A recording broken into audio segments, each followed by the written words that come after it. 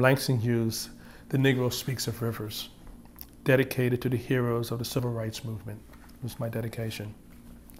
I've known rivers.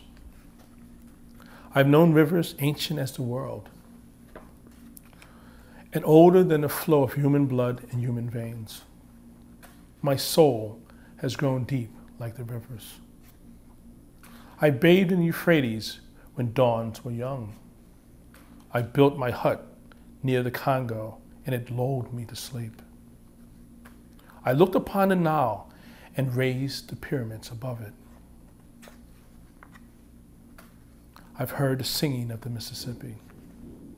When Abe Lincoln went down to New Orleans, and I've seen its muddy bosom turn all golden in the sunset. I've known rivers, ancient, dusty rivers. My soul has grown deep like the rivers. Langston Hughes. Some of these images that I have produced um, are, you know, each one has a story, of course. Um, just remembering, remembering where and how I came to these images. This woman is a woman that lives in South Carolina. The image here, uh, this, these are her hands, by the way. And this has happened. Uh, I, she it was an old pot in the yard, and it was an old rusty pot in her back in her backyard, and and I saw her hands, and, and her hands hands have always fascinated me. And so seeing her hands and seeing this rusty pot, I said, whoa, veins that run through the blood, you know, you know as, as the line goes, older than the flow of human blood and human veins. My God, you know, to see her, the blood, you can actually almost feel the blood running through her veins. So her, her age, her hands had stories. You could just tell, you know, countless stories just by looking at her hands.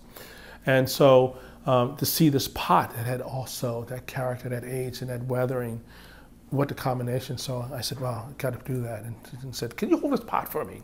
You know, and she said, and I, you know, to turn it this way and turn it that way. And so taking several shots of that. Uh, this is my nephew here, and an old guy that um, I was out on the street working on a building.